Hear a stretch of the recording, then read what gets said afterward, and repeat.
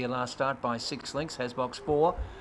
To be alive in the quaddy it's 6.52, the green light's on. 460 metres is the journey set away. Roxy's Pride didn't begin all that well. Very slow out was Black Caspar.